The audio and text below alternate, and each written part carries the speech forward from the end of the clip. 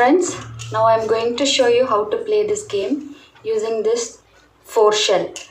And uh, this kind of shells you will get it in uh, beach beachside places like Pondicherry, Chennai and Goa.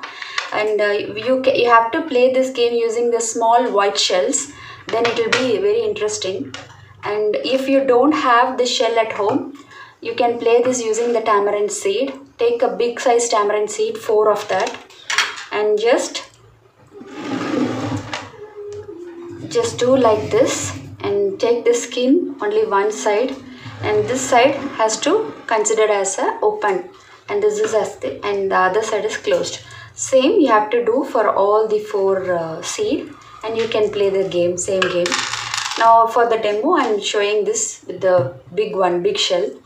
And first i'll tell you the gaming rules. I have played this game on my young age and it is called as a 40 shell game in olden days people used to play this a lot and because it is quite interesting game also. And first i'll tell you the gaming rules.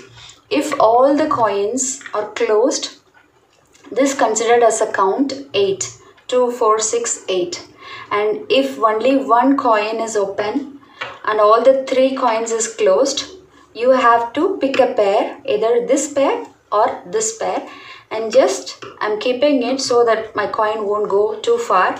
And just you have to hit like a ca- carom board. And while hitting if you you have you shouldn't touch the other coin. And suppose some people doesn't hit then you have to pass this to the opponent. And uh, this is one count and i'm just hitting this. This is another count. And if two coin and if two coin is open and the two coin is closed. This is not taken as account. You have to keep like this. And this should be hit like a carom board coin. And this is only one count. And if all the three coin is open you have to pass this to the opponent.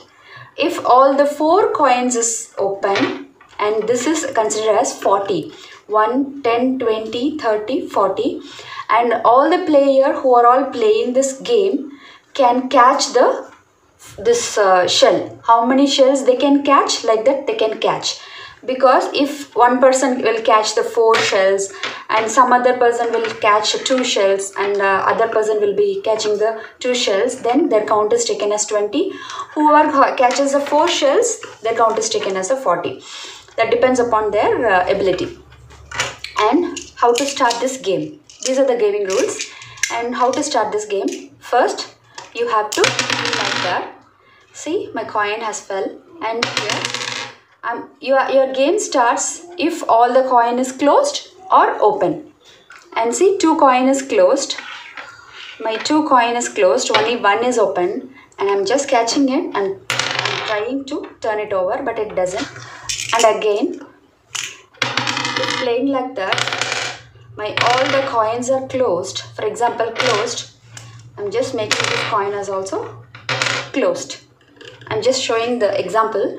And now my count is 8 and also i'm trying to i'll show you the demo again. If my all coins is open this is closed. For example if all my coin is open and try to keep it like this then immediately all the player will try to catch your 40 shell and this is the gaming rule. So now i'm going to start my game.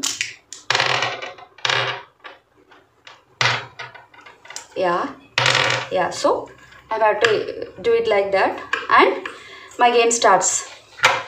For example if i catch all the 40 shells my count is 40 and next time i can play the game like this. My two shell is open. I'm keeping it some aside.